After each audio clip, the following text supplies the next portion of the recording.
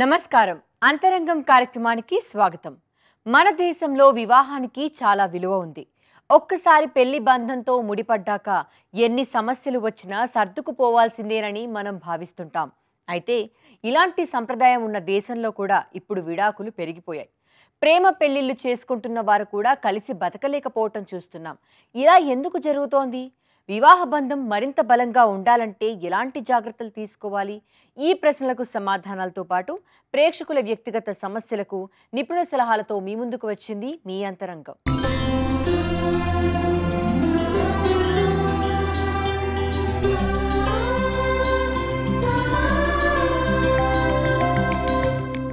ఇద్దరు మనుషులు కలిసి జీవిస్తున్నప్పుడు అభిప్రాయ భేదాలు మనస్పర్ధలు రావటం అత్యంత సహజం.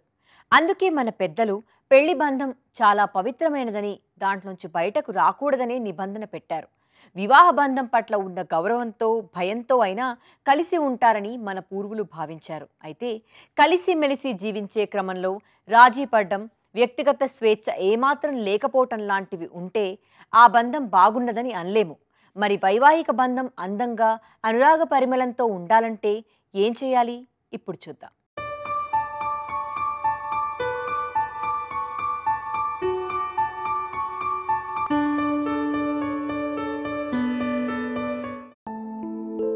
భార్యాభర్తల మధ్య ప్రేమ నమ్మకం అనురాగం విశ్వాసం లాంటివి ఉండాలని చెప్పుకుంటూ ఉంటాం. ఇవన్నీ ఉండాలన్న మాట నిజం కూడా. ముఖ్యంగా ప్రేమ ఉండి తీరాలి. లేకపోతే ఆ బంధం కలకలం ఉండదు. అయితే కొంతమంది విషయంలో ప్రేమ ఉండదు ద్వేషము ఉండదు. అలా జీవితం నడిచిపోతూ ఉంటుంది. అలాగే ఉదాసీనంగా ఇద్దరు ఎవరి జీవితాలు వారివి అన్నట్టుగా బతికేస్తుంటారు. ఇరువురు ఏ మాట మాట్లాడుకున్నా అది వాదనకే దారితీస్తుంటే ఇద్దరి మధ్య ఈగో సమస్యలు ఉన్నాయని అర్థం చేసుకోవాలి. అహంకారం ఉన్నప్పుడు అవతలి వారు చెప్తున్నది వినాలనే శ్రద్ధ సహనం ఉండవు. అసలు ఇరువురి మధ్య కమ్యూనికేషన్ అనేది ఏర్పడదు. కమ్యూనికేషన్ సవ్యంగా లేనప్పుడు ఏ బంధము నిలబడదు. వివాహ బంధానికి మాత్రమే విలువ ఇస్తామనుకుంటే ఎడమొహం పెడమొహంగా అయినా కలిసి నూరేళ్ళు బ్రతికేయవచ్చు. కానీ తమతో కలిసి జీవిస్తున్న వ్యక్తికి కూడా విలువ ఇవ్వాలి. అప్పుడే బంధం ఉదాసీనంగా కాకుండా అందంగా ఉంటుంది. ఏ బంధంలో అయినా అభిప్రాయ భేదాలు తేడాలు లేకపోతే అది బంధం అవుతుందా? అయితే బంధాల్లో రెండు రకాలు ఉంటాయి. ఒకటి శత్రుపరమైన భేదాభిప్రాయాలు మిత్రపరమైనవి. సో అభిప్రాయ భేదాలని అదేదో పెద్ద భేదాలు భేదాలు భేదాలు అనుకుంటూ కూర్చోవడం కన్నా కూర్చొని గనక రిజాల్వ్ చేసుకోగలిగితే రిజాల్వ్ చేసుకోకుండా నేను ఎప్పుడు చెప్తూ ఉంటాను నెవర్ స్లీప్ అనే బర్నింగ్ టాపిక్ అంటే ఒక టాపిక్ పెట్టుకున్నప్పుడు ఆ టాపిక్ మీద కూర్చొని రాత్రిళ్ళు రాత్రిళ్ళు రోజుల తరబడి మనం అదే దాన్ని కనుక ఆలోచిస్తూ ఆలోచిస్తూ ఆలోచిస్తూ కూర్చుంటే సమస్య సమస్యలాగే ఉంటుంది పరిష్కారం దగ్గరికి వెళ్ళాం. సో పరిష్కారం గురించి ఆలోచించటం మాత్రమే నిజమైన పరిష్కారం. తేడాలు రాకుండా ఉండాలంటే ఏం చేయాలి? కమ్యూనికేషన్ ఇద్దరి మధ్య పెరగాలి. కమ్యూనికేషన్ పెరగటం అంటే అర్థం ఏంటి? మాట్లాడుకోగలిగే చనువు ఉండాలి. మాట్లాడుకోగలిగే చనువు ఎప్పుడు వస్తుంది ఇద్దరు ట్రాన్స్పరెంట్గా ఉన్నప్పుడు వస్తుంది. ఆ ట్రాన్స్పరెన్సీ అనేది భార్యాభర్తల ఇద్దరి మధ్య అవసరం. ట్రాన్స్పరెన్సీతో మాత్రమే ఒకళ్ళనొకళ్ళు కొంచెమన్నా అప్రిషియేట్ చేసుకోగలగాలి ట్రాన్స్పరెన్సీ పెరగాలి. ఎక్స్ప్రెషన్ కనుక డెవలప్ చేసుకుంటే జీవితంలో ఈ భేదాభిప్రాయాలు అనేవి చాలా వరకు తగ్గిపోతాయి. వ్యాపారాల్లో భాగస్వాములు ఆఫీసుల్లో కలిసి పనిచేసేవారు ఇలాంటి వ్యవహారాల్లో ఉన్నవారు తమ పని పూర్తవగానే ఎవరి జీవితం వారిది అన్నట్టుగా ఉండవచ్చు. కానీ వివాహ బంధంలో అది సాధ్యం కాదు. నీ గురించి నాకు పూర్తిగా తెలియాలి. నా గురించి నువ్వు తెలుసుకోవాలి అనే సూత్రం ఈ బంధానికి ఒక ముఖ్యమైన ఆధారం. ఒకరితో ఒకరు నిజాయితీగా అన్నీ చెప్పటం ఎంత ముఖ్యమో నిజాయితీగా ఒకరి అభిరుచులను ఇష్టాయిష్టాలను భావోద్వేగాలను మరొకరు అర్థం చేసుకోవటం కూడా అంతే ముఖ్యం. అంటే భాగస్వామితో అన్ని విషయాలు చెప్పుకోవటము పొరపాటే అవుతుంది. చెప్పినప్పుడు అర్థం చేసుకోకుండా నో అనటము తప్పే అవుతుంది. వైవాహిక బంధంలో నువ్వు నన్ను పూర్తిగా అర్థం చేసుకో అనవచ్చు కానీ నువ్వు పూర్తిగా నాకు నచ్చినట్టే ఉండు అంటం మాత్రం భావ్యం కాదు. అలా అన్నారంటే ఆ బంధంలో స్నేహం పరస్పర గౌరవం లేవని అర్థం. భార్యాభర్తల మధ్య ప్రేమ పెరగాలి అంటే ఫస్ట్ స్టెప్ కావలసింది నమ్మకం. నమ్మకం లేని చోట ప్రేమ పుట్టదు. ఎక్కడైతే లెక్కలు వేసుకుంటావో నేను ఎన్ని మునక్కాయలు తెచ్చాను నువ్వెన్ని కూరగాయలు తెచ్చావు మీ నాన్న వాళ్ళ దగ్గర నుంచి ఏమేమి తీసుకొచ్చావు మా వాళ్ళ దగ్గర నుంచి ఏమేమి తెచ్చాము మా అమ్మ నాన్నకి నేను ఎంత పెడుతున్నాను మా తమ్ముడికి ఎంత ఇస్తున్నాను మీ తమ్ముడికి నువ్వు ఎంత సహాయం చేస్తున్నావు ఇవన్నీ కూడా మొత్తము లెక్కలతో కూడుకున్నవి. ఆశ. ఆశతోనే కదా బతికేది మనిషి. ఇప్పుడు నేను రేపు ఏం చేస్తాను? రేపు ఏం చేస్తాను? ఎల్లుండి ఏం చేస్తాను? అనేది కనుక ఆశ లేకపోయేటట్లయితే మనిషి బ్రతకడు. అనుమానం ఎక్కడైతే వస్తుందో అక్కడితో ప్రేమ అనేది చచ్చిపోతుంది. నమ్మకం పోయి అనుమానం వస్తుంది. అనుమానం ఒకటి దాంతోపాటు జాలి కూడా వస్తే రావచ్చు. అయ్యో పాపం మా ఆవిడ ఇలా ఉంది మా ఆయన ఇలా ఉన్నాడు అని జాలి జాలితో కూడా ప్రేమ నిలబడదు. జాలితో మానవత్వం నిలబడుతుంది కానీ ప్రేమ నిలబడదు. కొంతమంది భార్యాభర్తలు ఎప్పుడూ పిల్లి ఎలుకల్లా పోట్లాడుకుంటూ ఉంటారు. అంటే వారి మధ్య ఉన్నవి అభిప్రాయ భేదాలు కావు తీవ్రమైన విభేదాలని భావించాలి. ఆఫీసుల్లో కొంతమంది వ్యక్తులు కలిసి ఒక టీంగా ఏర్పడి పనులు చేస్తుంటారు. టీంలో అందరూ ఒకే లక్ష్యంతో ఉమ్మడి ప్రయోజనం కోసం శ్రమిస్తుంటారు. కుటుంబం కూడా అలాంటి ఒక వ్యవస్థ లేదా ఒక లక్ష్యం అనుకుంటే భార్యాభర్తలు ఒకే టీంలో పనిచేస్తున్న సభ్యులు అవుతారు. మరి అలాంటప్పుడు వారు విరోధులు శత్రువుల్లా పోట్లాడుకుంటుంటే కుటుంబం అనే వ్యవస్థ ప్రయోజనాలు నెరవేరవు కదా? ఈ అంశం గురించి మరిన్ని విశేషాలు ఇప్పుడు చూద్దాం. ఇద్దరు వ్యక్తులు కలిసి బ్రతకాలంటే వారి మధ్య కనీస స్నేహం ఉండాలి. కొంతమంది భార్యాభర్తలు శత్రువుల్లా పోట్లాడుకుంటూ ఉంటారు అవమానించుకుంటూ ఉంటారు. ముళ్ళులాంటి మాటలతో గాయపరుచుకుంటూ మరింత శత్రుత్వం పెంచుకుంటూ పోతుంటారు. ఇద్దరి అంతిమ లక్ష్యం కుటుంబ శ్రేయస్సే అనే భావం బలంగా లేనప్పుడు భార్యాభర్తలు విరోధులుగా ప్రవర్తిస్తుంటారు. ఒకరి అవసరాలను ఒకరు గుర్తించకుండా ఏళ్ళ కొద్దీ జీవితం గడిచిపోతున్నప్పుడు ఇరువురి మనసులు తీవ్రమైన భావోద్వేగాలకు గురయ్యే ప్రమాదం ఉంది. పదిసార్లు నిర్లక్ష్యానికి గురైతే పదకొండోసారి అది ద్వేషంగా మారవచ్చు. ఆర్థిక వ్యవహారాల్లో రహస్యాలు ఉన్నా ఇలాంటి విభేదాలు తీవ్రంగా ఉంటాయి. డబ్బు విషయంలో రహస్యాలు పెరిగిన కొద్దీ భార్యాభర్తల మధ్య మానసిక దూరం పెరుగుతుంటుంది. కాస్త మంచితనం కొంచెం విచక్షణ ఇంకాస్త సాటి మనిషి పట్ల గౌరవం జీవితాన్ని మరీ సీరియస్గా తీసుకోకుండా నవ్వుతూ ముందుకు సాగిపోయే గుణం ఇవి ఉంటే చాలు వైవాహిక బంధాలు చిరకాలం నిలుస్తాయి. పరిష్కారం లేని సమస్య ఈ భూమి మీద లేదో సమస్య పుట్టినప్పుడే పరిష్కారం కూడా గ్యారంటీగా పుట్టింది. సో దీనికి మనకి మళ్ళీ ఎట్లా ఎవరి దగ్గరికి వెళ్ళాలి ఏంటి ఎలా చేయాలి ఇది పరిష్కారం అవుతుందా లేదా అనే అనుమానం ఎట్టి పరిస్థితుల్లోనూ ఉండాల్సిన అవసరం లేదు. మనిషి సమస్యల్లోనే పుడతాడు సమస్యల్లోనే బ్రతుకుతాడు సమస్యలతోనే మరణిస్తాడు. సమస్యలు లేని మనిషి మనిషే కాదు. సో ఆ వచ్చిన సమస్యలను ఎట్లా రిజాల్వ్ చేసుకోవాలి? ఒక ప్రొఫెషనల్ని అప్రోచ్ అవ్వడం అనేది ఈ విషయంలో కరెక్ట్ సమాధానం అవుతుంది. ప్రొఫెషనల్ని అప్రోచ్ అవ్వడం ప్రొఫెషనల్ అంటే ఒక సైకోథెరపిస్ట్ని లేదు ఇంకా సీరియస్ మ్యాటర్ అయితే సైకియాట్రిస్ట్ని అప్రోచ్ అవ్వడం అనేది కరెక్ట్. వివాహ బంధం చాలా విచిత్రమైనది. భిన్నమైన వ్యక్తిత్వాలున్న ఇద్దరు వ్యక్తులు కలిసి మెలిసి ఒక్కరే అన్నట్టుగా ఉండాలి. అలాగే ఇద్దరు కాదు ఒక్కరే అన్నట్టుగా జీవిస్తూనే ఎవరి వ్యక్తిత్వాన్ని వారు కాపాడుకుంటూ వ్యక్తిగత ఉనికిని కూడా నిలబెట్టుకోవాలి. నేను అనాల్సిన సందర్భాలు మనం అనుకొని ముందుకు వెళ్ళాల్సిన అవసరాలు రెండూ వైవాహిక జీవితంలో ఉంటాయి. అందుకే ఎంతగా ఆ బంధాన్ని అర్థం చేసుకుంటే అంతగా ఆనందం దక్కుతుంది. ఒక చోట కలిసి పనిచేసే వారి మధ్య స్నేహం పెరగటం సాధారణం. అలాగే ఒకరికొకరు సహకరించుకుంటూ పనిచేసుకుంటూ ఉంటారు. అయితే ఆఫీసులో ఇలాంటి వాతావరణమే కాదు ఇందుకు భిన్నంగా ఈర్ష్య అసూయలు సైతం ఉంటాయి. పని ప్రదేశాల్లో అసూయ చెందే వ్యక్తులను మనం తేలికగానే గుర్తించవచ్చు. అలాంటి వారు మన విజయాలను గురించి పట్టించుకోరు. కానీ మనం చేసిన చిన్న తప్పులను కూడా ఎత్తి చూపుతుంటారు. తరచుగా విమర్శలు చేస్తుంటారు. ఒకవేళ మీరు మీ తోటి కొలీగ్ పట్ల ఇలా ప్రవర్తిస్తుంటే మీలో కూడా అసూయ ఉన్నట్టే. ఇలాంటి మనస్తత్వం ఉన్నవారి గురించి మరింత తెలుసుకునే ముందు అంతరంగంలో ఇప్పుడు సమస్య సలహా చూద్దాం.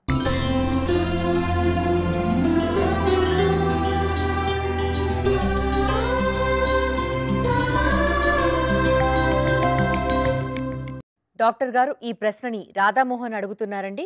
నేను ఒక ప్రైవేట్ సంస్థలో ఉన్నతాధికారి హోదాలో పనిచేస్తున్నాను.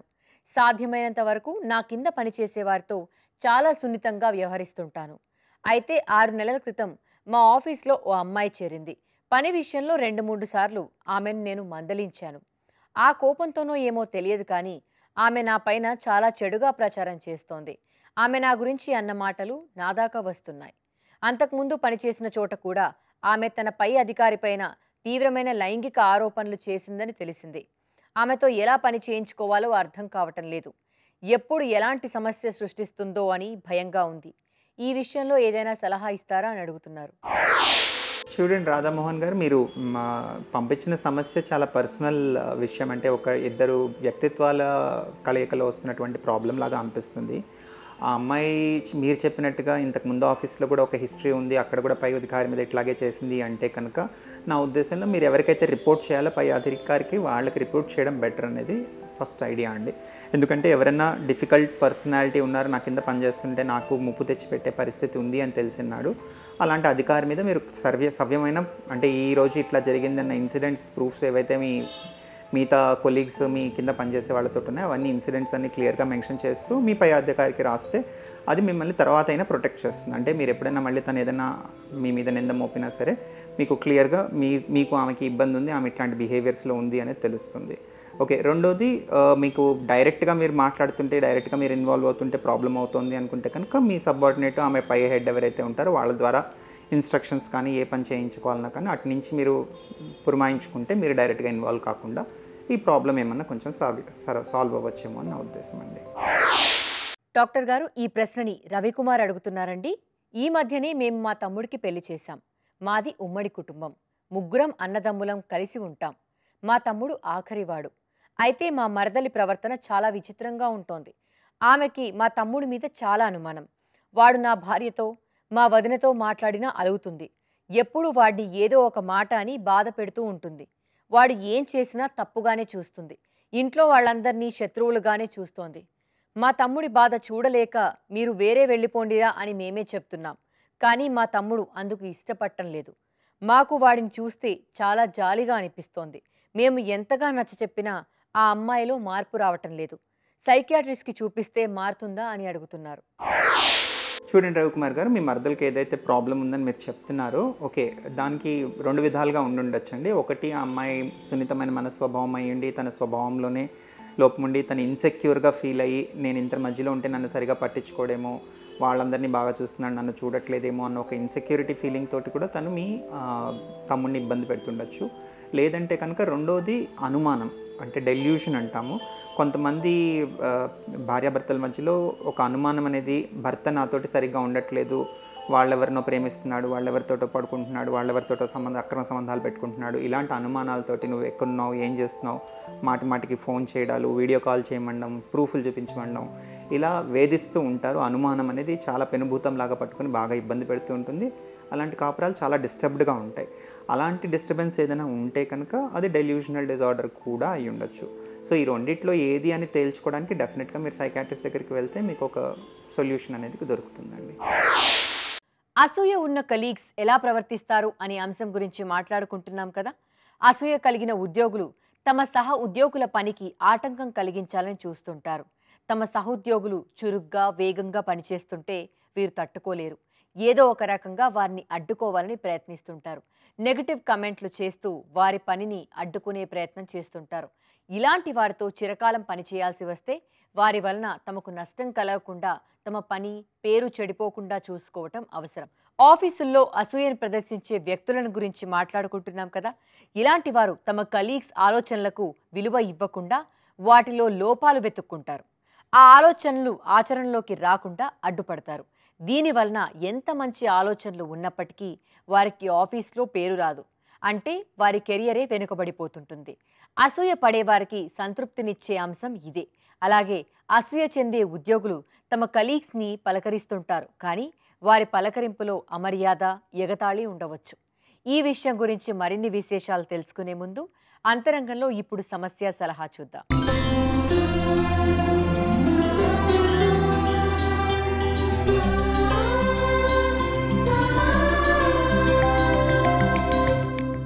డాక్టర్ గారు ఈ ప్రశ్నని వికాస్ అడుగుతున్నారండి. మా నాన్నగారి వయసు యాభై రెండేళ్ళు ఆయన చాలా క్రమశిక్షణ ఉన్న మనిషి. చిన్నప్పటి నుండి మేము అలాగే ఉండాలని చెప్పేవారు. ఎప్పుడూ మమ్మల్ని ఏదో ఒక విషయంలో విమర్శించడమే తప్ప ఎప్పుడూ మెచ్చుకున్నది లేదు. నా స్నేహితులంతా వాళ్ళ తండ్రులతో చాలా స్నేహంగా సరదాగా ఉంటుంటే నాకు చాలా ఈర్ష్యగా అనిపించేది. ఇప్పుడు నేను ఎంబీఏ పూర్తి చేసి ఉద్యోగ ప్రయత్నాల్లో ఉన్నాను. నాకు ఎప్పుడు మంచి ఉద్యోగం వస్తుందా అని మా నాన్నగారు బాగా ఎదురు చూస్తున్నారు కానీ నాకెందుకో జాబ్ తెచ్చుకుంటే ఆయన సంతోషిస్తారు అనే ఆలోచన నచ్చటం లేదు. నేను తప్పుగా ఆలోచిస్తున్నానని తెలుసు. కానీ నా ఆలోచనల వలన ఉద్యోగ ప్రయత్నాలు సరిగ్గా చేయలేకపోతున్నాను నాకేదైనా పరిష్కారం చెప్పండి అని అడుగుతున్నారు. వికాస్ గారు మీరు చెప్పింది నిజమే. మీ స్నేహితులు చాలామంది వాళ్ళ పేరెంట్స్ పిల్లల గురించి ఎప్పుడు మెచ్చుకుంటూనే ఉంటారు. కానీ నేను కూడా చూశాను కొంతమంది పేరెంట్స్ పిల్లల్ని ఎప్పుడు ఏదో సూటిపోటి మాటలు అంటూనే ఉంటారు. కానీ కొంతమంది పేరెంట్స్ మాత్రం పిల్లల్ని ఎప్పుడూ ఉత్సాహపరుస్తూ ఉంటారు. ఎప్పుడైతే పిల్లల్ని ఉత్సాహపరిచిన వాళ్ళ లోపల రీసెర్చ్ ఏమంటుందంటే వీళ్ళు చాలా అంచెలంచెలుగా ఎదిగి వాళ్ళ ఆత్మవిశ్వాసంతో ఎన్ని కష్టాలు నష్టాలు వచ్చినా కూడా వీళ్ళు ధైర్యంగా ఎదుర్కొని ముందుకెళ్తారు కానీ you are not the product of your parents opinion మీ అమ్మ నాన్న గనక నీకు చేత కాదురా నువ్వు చెయ్యలేవురా అని చెప్పి మెప్పుగోలుగా మాట్లాడకపోయినా ఒక ఛాలెంజ్గా తీసుకొని ఒక ఉద్యోగ ప్రయత్నాలు చేసి ఉద్యోగం సాధించి నాన్న నువ్వు లేదా నేను చెయ్యలేనన్నావు. ఇక చూడు నేను చేశాను. ఇది నా యొక్క ఉద్యోగం కాల్ లెటర్ అని చెప్పి ఎప్పుడైతే మీరు ఈ లిమిటింగ్ బిలీఫ్స్ మీరు బ్రేక్ చేశారో మీరు అమ్మా నాన్న అప్రూవల్ లేకుండా మీరు సంతోషంగా ఉత్సాహంగా హ్యాపీగా ఉంటారు. మీరు విజయాన్ని సాధిస్తూ జీవితంలో ముందుకు సాగిపోతారు. డాక్టర్ గారు ఈ ప్రశ్నని శిరీష అడుగుతున్నారండి. నాకు పెళ్ళై రెండేళ్ళు అవుతోంది నా భర్త వాళ్ళు ముగ్గురు అన్నదమ్ములు ఒక అమ్మాయి. మా ఆడపడుచు ఒక్కతే ఆడపిల్ల కావటంతో ఇంట్లో అందరికీ తనంటే చాలా ప్రేమ. తనకు పెళ్ళై అత్తవారింట్లోనే ఉంటుంది కానీ రోజుకి ఓ పదిసార్లు తల్లిదండ్రులకు మాకు ఫోన్లు చేస్తుంటుంది. నాలుగు రోజులకు ఒకసారి ఇక్కడికి వచ్చేస్తుంది. ఇవన్నీ కాకుండా మా అత్తగారికి మా ముగ్గురు తోడికోడళ్ళకు ఒకరి మీద ఒకరికి చాడీలు చెబుతూనే ఉంటుంది. ఆమె వలన మేము గొడవలు పడిన సందర్భాలు ఎన్నో. ఒక్కోసారి ఆ గొడవలు చాలా తీవ్రమైపోయిన సందర్భాలు కూడా ఉన్నాయి. కూతురు గురించి తెలిసినా మా అత్తగారు ఆమెను వెనకేసుకొని వస్తూ మా పైన అరుస్తుంటుంది. ఇవి ప్రతి ఇంట్లోనూ ఉంటాయి కదా అనకుండా ఏదైనా పరిష్కారం చెప్పండి అని అడుగుతున్నారు. శిరీష మీ ఆడబడుచుని ఎప్పుడైతే ఆమె ప్రవర్తనని మీరు సంపూర్ణంగా మీరు స్వీకరిస్తారో అది మీకు బాధరేషన్ చే బాధరేషనే చెయ్యదు. మీరు ఆమెని ఏ చాడీలు చెప్పకుండా ఏది చెప్పకుండా ఉండమని చెప్పడం వల్ల జరిగే ప్రయోజనం ఏమీ లేదు. ఆమె ఇంకా ఎక్కువగా చేస్తుంది. కానీ మీరొకటి చేయొచ్చు ఆమెలో ఉన్న మంచిని ఎతకండి తొంభై తొమ్మిది ఆమెలో తప్పు క్వాలిటీస్ ఉన్నా ఒక్క మంచి క్వాలిటీ అయితే ఉంటుంది. ఆ క్వాలిటీని మీరు ఎప్పుడూ చెప్పండి. ఆమె బర్త్డేలకు కాల్ చేయండి. ఆమె బర్త్డేకి ఇంటికి పిలిచి మీరు ఒక మంచి కేక్ కట్ చేయించండి. అదేవిధంగా వాళ్ళ యొక్క యానివర్సరీకి సెలబ్రేట్ చేయండి. ఇప్పుడు ఏదైతే కొన్ని డిఫరెన్సెస్ ఉన్నాయో అవన్నీ కూడా డిజాల్వ్ అయిపోయి ఏదైతే డిసెంపవరింగ్ స్టేట్ ఆఫ్ మైండ్ నుంచి you go into the empowering state of mind ఎప్పుడైతే empowering positive state of mind ఉన్నప్పుడు ఆ రిలేషన్షిప్స్ అన్నది బ్యూటిఫుల్గా బిల్డప్ అవుతాయి. అప్పుడు మీ లైఫ్ హ్యాపీగా ఉంటుంది సంతోషంగా ఉంటుంది. ఎదురుంగా వాళ్ళు అంటే మీ ఆడబడుచుని మార్చే బదులు మీకు మీరు మార్చే ప్రయత్నం చేసుకొని empower yourself and also empower your ఆడబడుచు your life will be beautiful ఆఫీసుల్లో అసూయను ప్రదర్శించే వారి గురించి మాట్లాడుకుంటున్నాం కదా? వారి నుండి అసూయని ఎదుర్కొంటున్న వారికి అసలు వారితో ఎలాంటి గొడవలు విభేదాలు ఉండవు కూడా. అయినా సరే వారి వలన సమస్యలు ఎదుర్కోవాల్సి వస్తుంది. అసూయతో ఉన్నవారు తరచుగా తమ కలీగ్స్ని విమర్శిస్తుంటారు ఎగతాళి చేస్తుంటారు.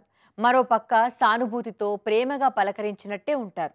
మొత్తం మీద తాము టార్గెట్ చేసిన ఉద్యోగి పనిపరంగా పేరు తెచ్చుకోకుండా ఆపుతుంటారు. ఇలాంటి వారి వలన బాధలు పడుతున్న వారు చాలా స్థిరచిత్తంతో వ్యవహరించాలి. వారికి తమకు మధ్య స్పష్టమైన సరిహద్దు రేఖ ఉండేలా చూసుకోవాలి. దృఢంగా నిర్ణయాత్మకంగా ఉండాలి. అప్పుడే తమ పట్ల అసూయ చెందే వారి ఆటలు సాగకుండా ఆపవచ్చు. ఇది నేటి అంతరంగం కార్యక్రమం. నమస్తే. మీ ఆరోగ్య సమస్యలను సందేహాలను మాకు పంపించవలసిన WhatsApp number eight seven nine zero five nine seven seven double six.